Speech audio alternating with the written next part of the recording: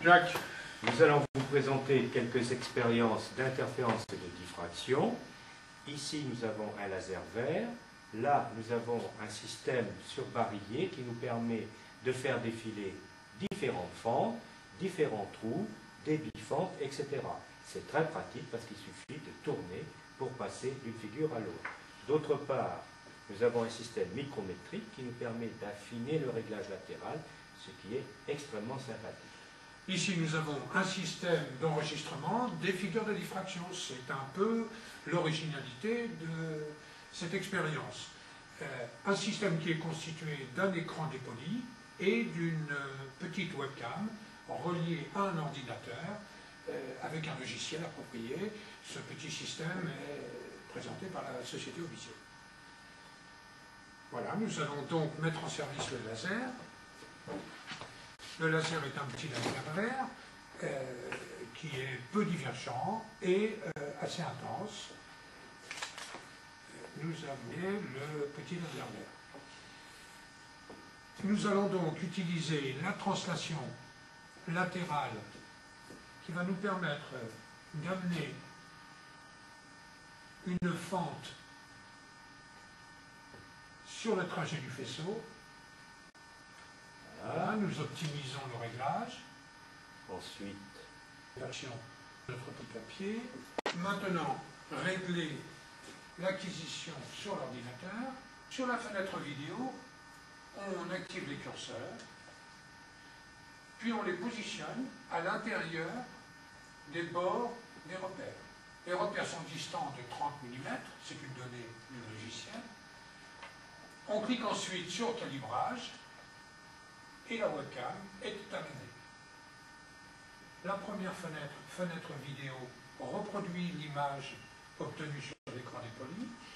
Elle comporte en outre une ligne d'analyse d'intensité que l'on peut positionner au moyen de la souris, clic gauche pour positionner la partie gauche et clic droit pour positionner la partie droite. On aligne donc cette ligne d'analyse d'intensité sur.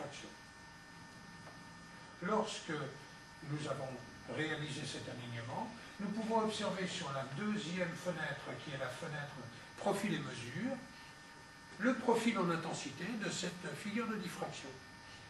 Au moyen de curseurs, on peut alors, après avoir figé cette figure mesurer, par exemple, l'écartement du lobe principal ou des lobes secondaires. On peut également mesurer les intensités relatives. nous allons pouvoir regarder la figure de diffraction donnée par une fente de largeur différente, puisque sur ce barillet, ici, nous avons plusieurs types de fentes. Par simple translation, je positionne la nouvelle fente sur le faisceau.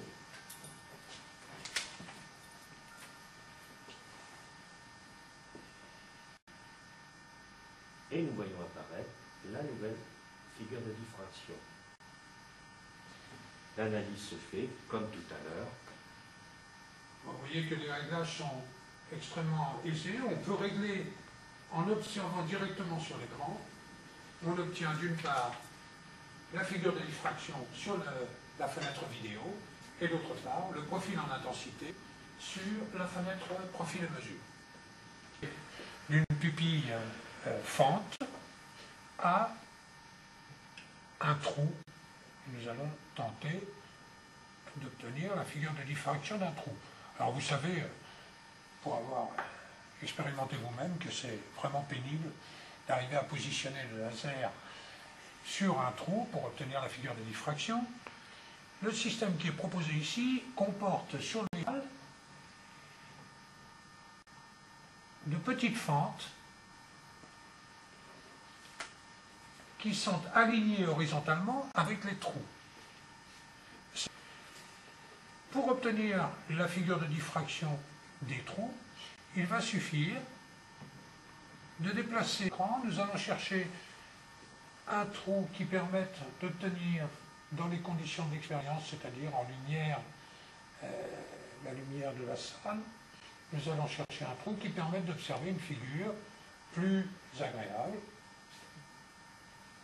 Nous passons maintenant bifentes.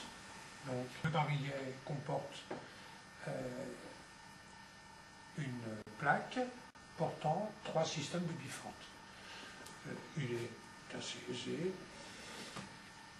de positionner le système de bifente sur le passage du faisceau laser.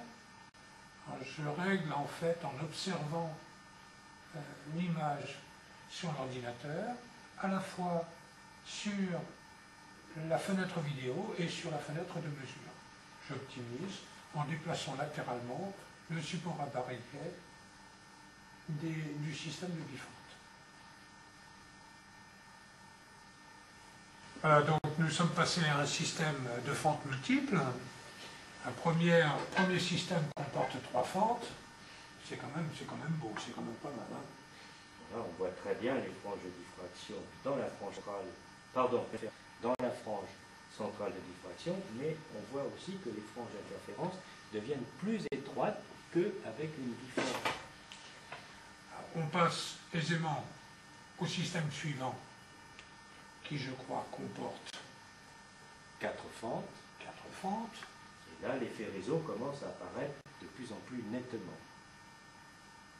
Continuons, nous avons quatre systèmes de, fentes multiples. Ici, il y a six fentes. Des franges de diffraction de plus en plus étroites. Le noir, c'est bien ça.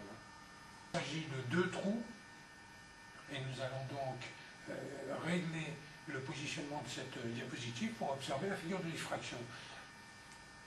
Donc nous voyons les franges d'interférence qui strie la figure des riz, la figure de diffraction d'un trou.